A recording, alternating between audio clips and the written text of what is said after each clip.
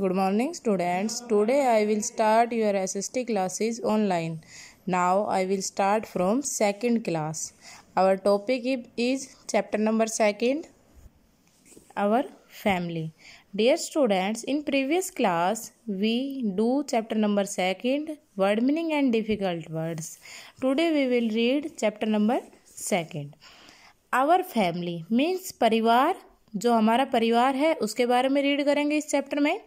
Family consist of parents and their childrens जो family है, वो किससे मिलकर बनती है? पेरेंट्स और उनके बच्चों से। तो family consist of parents and their childrens मतलब जहाँ पर पेरेंट्स और उनके बच्चे रहते हैं, वो क्या कहलाती है? Family we all live in a family हम सभी एक परिवार में रहते हैं। People who live in a family are called family members तो मेंबर्स के अब मीनिंग हमने बताया था वर्ड मीनिंग में मेंबर्स मीन्स होता है सदस्य। तो जो लोग एक परिवार में रहते हैं, वो क्या कहलाते हैं? परिवार के सदस्य। People who live in a family are called family members जो लोग एक परिवार में रहते हैं, वो परिवार के मेंबर्स कहलाते हैं, सदस्य कहलाते हैं। Our parents are the main member of our family हमारे जो माता पिता हैं पेरेंट्स हैं, वो हमारी फैमिली का क्या है? मेन मेंबर्स हैं। Members in a family take care of one another जो परिवार के सदस्य हैं, जो एक परिवार में रहते हैं, वो एक दूसरे की टेक केयर करते हैं।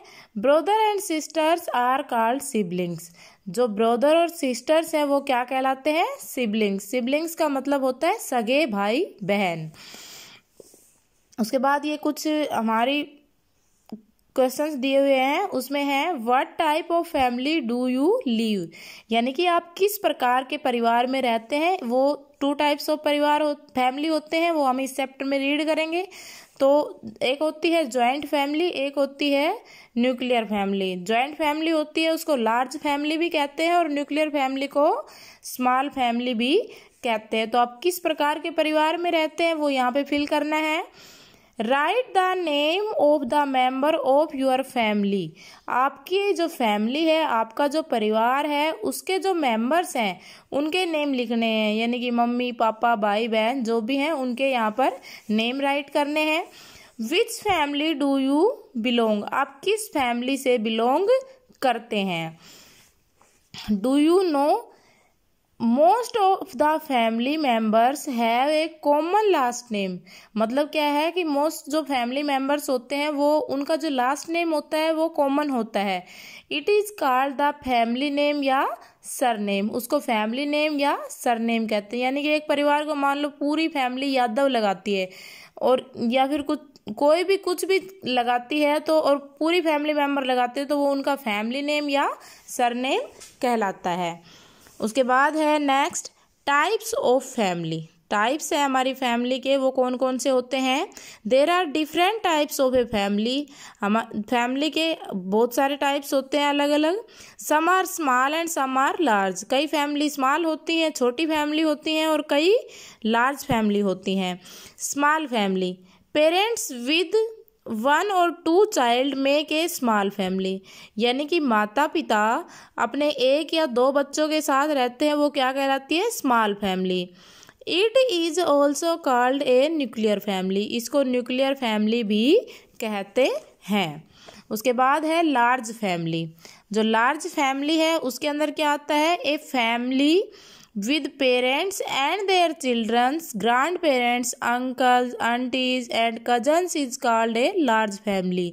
यानी कि एक परिवार जिसके अंदर हमारे माता पिता बच्चे ग्रैंड पेरेंट्स यानी कि दादा दादी अंकल्स और आंटीज मतलब चाचा, चाची और कजन्स यानी कि चचेरे जो भाई बहन होते हैं वो जिस परिवार में इकट्ठे रहते हैं उस फैमिली को क्या कहते हैं? Large family a large family is called an extended family और जॉइंट फैमिली जो लार्ज फैमिली होती है, उसको एक्सटेंडेड मीन्स होता है विस्तृत या बड़ा परिवार और जॉइंट फैमिली संयुक्त परिवार भी कहते हैं। एक लार्ज फैमिली को विस्तृत परिवार और जॉइंट परिवार भी कहते हैं।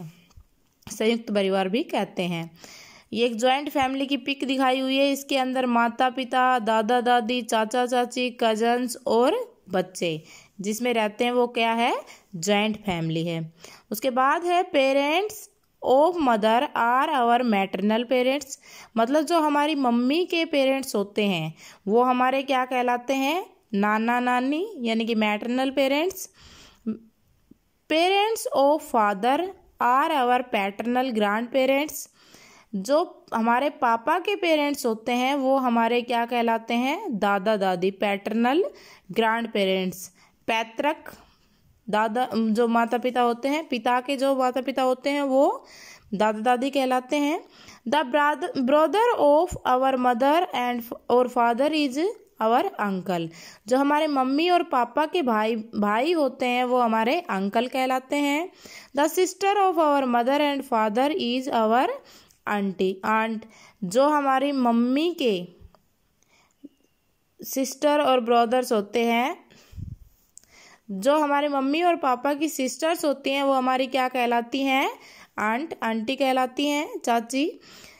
Childrens of our uncle and aunt our are our cousins जो हमारे चाचा और चाची के बच्चे होते हैं। वो हमारे क्या कहलाते हैं? कजन्स यानी कि चचेरे भाई बहन।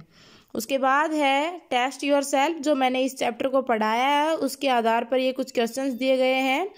A large family is also called an dash और डैश फैमिली जो लार्ज फैमिली होती है, उसको कौन कौन सी फैमिली कहते हैं?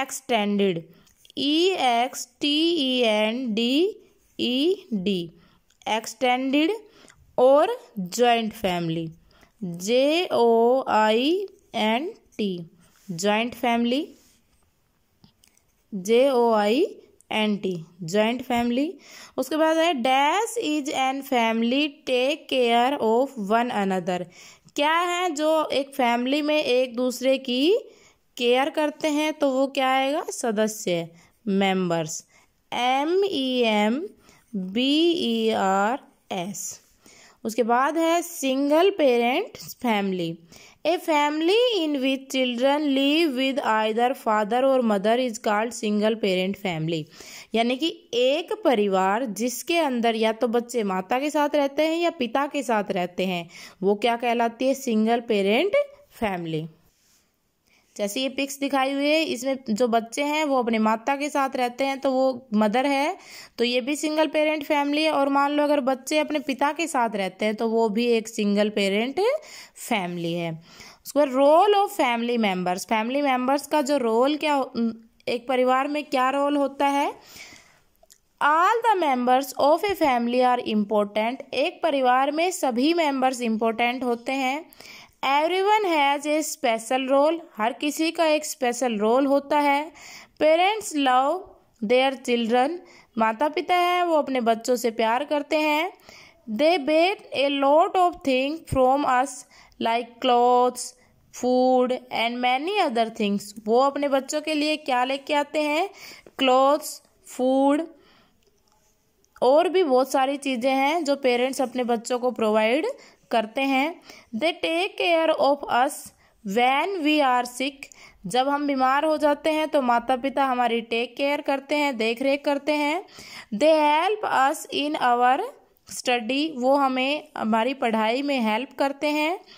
Our grandparents play with us and tell us stories जो हमारे ग्रांड पेरेंट्स हैं, यानी कि दादा दादी या नाना नानी वो हमारे साथ खेलते हैं और हमें कहानी सुनाते हैं स्टोरीज सुनाते हैं। फन इन फैमिली एक परिवार में जो खुशी का माहौल है या फन है वो कब होता है? Being a part of a family is a lot of fun एक जो फैमिली होती है उसके अंदर बहुत सारे उत्सव के समय आते हैं।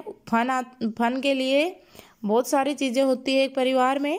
फ़र्स्ट है we celebrate special days like birthday and festivals एक परिवार में फेस्टिवल्स बर्थडे सेलिब्रेट किए जाते हैं। वो भी खुशी का माहौल ही होता है। We invite our friends and relatives to parties at home हम अपने फ्रेंड्स हैं रिलेटिव्स हैं, उनको अपने घर पर पार्टी करने के लिए बुलाते हैं। Sometime we also go to a movie और a picnic together with our family members कई बार हम क्या करते हैं, अपनी फैमिली मेंबर्स के साथ पिकनिक पर जाते हैं या मूवी देखने जाते हैं। We should help our parents at home हमें अपने पेरेंट्स की, अपने माता पिता की घर पर हेल्प करनी चाहिए। We should keep our room clean हमें अपना जो रूम है, कमरा है, उसको क्लीन रखना चाहिए। And put our toys in a cupboard जो हमारे टॉयज है, उनको सही तरह से रखना चाहिए। We should make our beds हमारा जो बेड है, उसकी बेड शीट को बिल्कुल सही रखना चाहिए। बेड को अच्छी तरह मेंटेन रखना चाहिए। We should fill the bottles of the refrigerator जो हमारे फ्रिज की बॉटल्स होते हैं, उनको हमें भर के रखना चाहिए। We should love and respect our parents grandparents and other family members हमें अपनी फैमिली में जितने भी मेंबर्स होते हैं, उनका आदर करना चाहिए। चाहे पेरेंट्स हो माता पिता हो, चाहे दादा दादी हो, या फैमिली के और कोई मेंबर्स हो। Thank you students I hope you understand in this chapter.